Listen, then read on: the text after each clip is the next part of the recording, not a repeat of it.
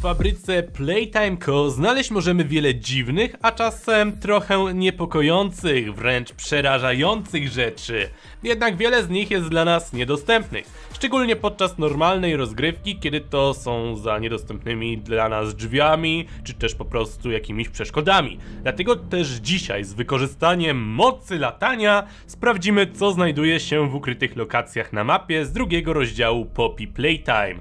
Jesteście ciekawi? Bo ja w sumie tak, dlatego też zaczynajmy! By the way widzu, na drugi kanał Rostale Horrory wrzuciłem dodatkowy odcinek z Poppy, generalnie będą tam wlatywały takie dodatkowe materiały, więc serdecznie tam was zapraszam. W naszej fabryce z Poppy Playtime znaleźć możemy ukryte laboratorium, w którym to dokonywano eksperymentów na ludziach, dorosłych, dzieciach, zmieniając ich w zabawki. Widzimy tutaj dużo krwi oraz poniszczonych fragmentów zabawek w różnych miejscach, co oznacza, że nie każdy eksperyment kończył się sukcesem. Nie każdy eksperyment się udał, a to znaczy, że niektóre osoby, które brały udział w eksperymentach, po prostu ginęły. Nie każdy przeżył eksperymenty, co jest dosyć mrocznym i nawet ciekawym sekretem. A teraz przejdziemy do czegoś trochę oczywistego, ale może nie dla każdego. Na pewno o tym byłyby komentarze, dlatego warto o tym wspomnieć.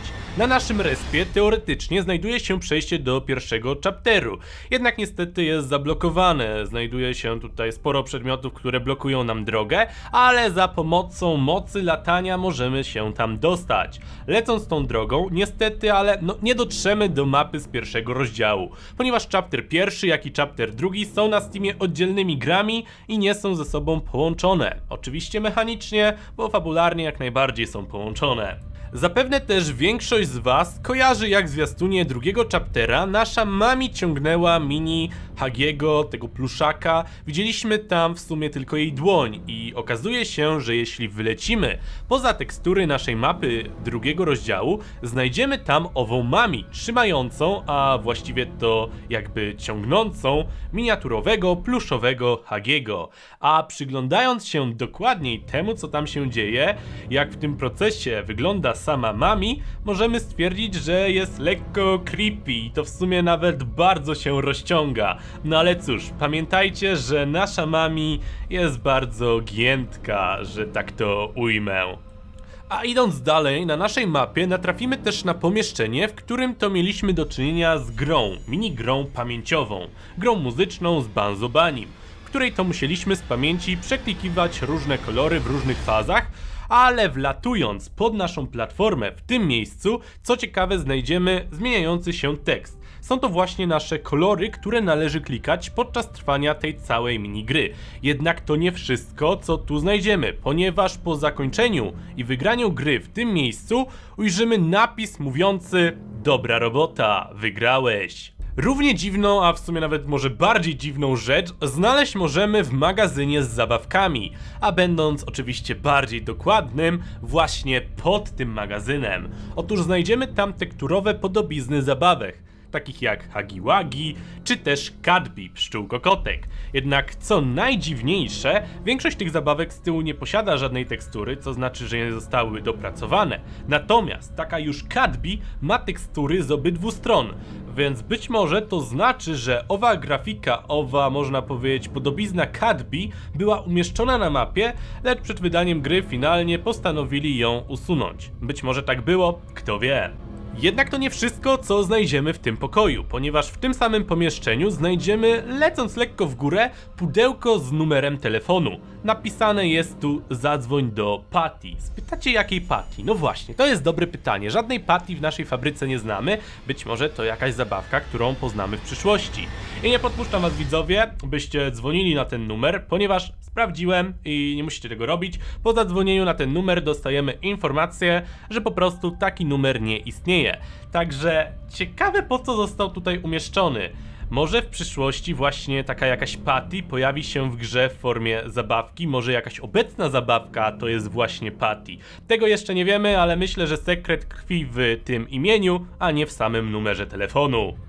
Widzowie, co ciekawe, za naszą mapą znaleźć możemy oczywiście niewidziane w grze modele. Mami Long Legs, Laleczki Poppy, czy też Kissy Missy. Te straszne zabawki już od początków naszej gry obserwowały nas przez ściany, a my o tym nie wiedzieliśmy, nie zdawaliśmy sobie totalnie sprawy. Cóż, tak już w horrorach czasem bywa, że straszne zabawki wyskakują na nas w najbardziej niespodziewanym momencie, albo że ktoś nas po prostu cały czas obserwuje. Wiadomo, że te modele zostały tam wykorzystane wykorzystane do różnych funkcji technicznych lub po prostu z czasów jak tworzyli mapę i one tak naprawdę można powiedzieć nie obserwują, jednak prawda jest taka, że prototyp cały czas nas śledził, ponieważ pod koniec gry widzimy jak prototyp porywa ciało naszej mamuśki, a skoro od razu był gotowy na porwanie tego ciała, to znaczy, że śledził nas od samego początku gry. Także spokojnie widzowie, mimo że oni nas nie obserwowali, to zawsze znajdzie się osoba, która od początku nas obserwowała. Ale chyba najbardziej zaskoczyć mogłoby was tutaj spotkanie tych kilkunastu modeli mami. Serio, jest ich naprawdę dużo, 8, 7, 9, coś takiego. Jak ktoś chce dokładniej, to może spróbować policzyć. Przejdziemy teraz do PJ'a. Tak, to ten uroczy piesek, mops, a może gąsienica, no w sumie to i to. Nieważne czym jest, ważne, że jest mega przyjacielski. Na tyle przyjacielski, że czekał na nas od początku gry. A co najważniejsze, cały czas wierzył, że uda nam się do niego dotrzeć. Skąd takie stwierdzenie? Skąd takie przypuszczenie? Spytacie roście, skąd ty to wiesz? Cóż, zaraz pod jego legowiskiem, pod mapą, znajdziemy tekst, który mówi Czekam na gracza. A pod koniec jego miejscówki, w miejscu gdzie uciekamy, znajdziemy kolejny napis mówiący dziękuję za grę. Czyż to nie uroczo, że czekał na nas od samego początku i był gotowy podziękować nam za wspólną zabawę? Dajcie znać na dole w komentarzu. A wracając do naszego prototypa, wielu z was może też się zastanawiać dokąd prototyp porwał naszą mami. Otóż, jeśli przelecimy przez ścianę, by sprawdzić, gdzie eksperyment 1006 porywa naszą mamuśkę, niestety trochę się zawiedziemy, ponieważ znajduje się tutaj ciemność co oznacza, że jest to dla nas jeszcze tajemnicą. Ale jeśli miałbym zgadywać osobiście, to pewnie zaciągnął ją do jakiegoś swojego ala laboratorium złego geniusza, gdzie odbudowuje swoje ciało i dokonuje różnych dziwnych eksperymentów. Mam nadzieję, że takiego typu laboratorium jeszcze w przyszłych chapterach spotkamy. A co więcej, a co też trochę ciekawe, nasz pociąg w momencie startu, kiedy z niego wylecimy, jest dosyć pobugowany, pogliczowany, no może nawet bardziej niż lekko.